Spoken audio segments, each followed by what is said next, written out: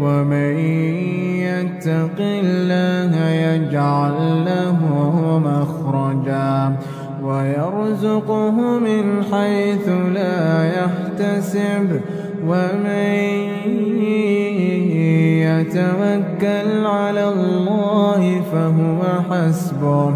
إن الله بالغ أمره. قد جعل الله شيء قدرا.